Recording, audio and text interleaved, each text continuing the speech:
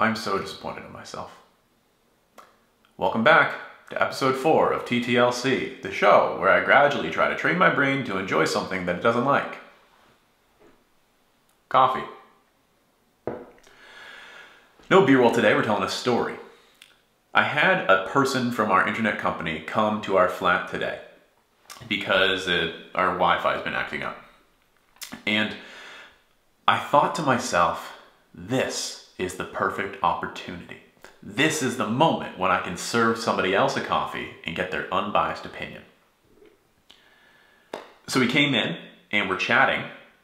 Really cool guy. And he notices my beautiful streaming setup. So I tell him about how he can tune in to watch me stream live on twitch.tv slash Jeffrey S. Webb, where I read books and talk about them.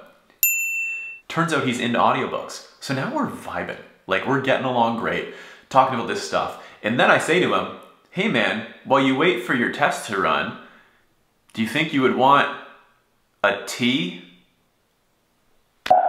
So after I offer him the tea, he's telling me about this Michelin star restaurant that he went to on the weekend. And I'm thinking, this guy is a foodie. He has the palate. Anyways, this one is to you, Stuart from OpenReach. May your download speeds never dip below triple digits. Same brew as yesterday.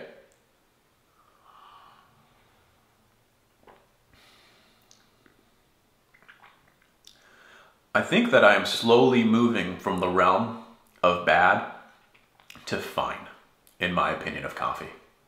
And I don't know how I feel about that. Well, that's all I've got for you today. Come back tomorrow to see if we continue to improve in my taste for coffee. Bye.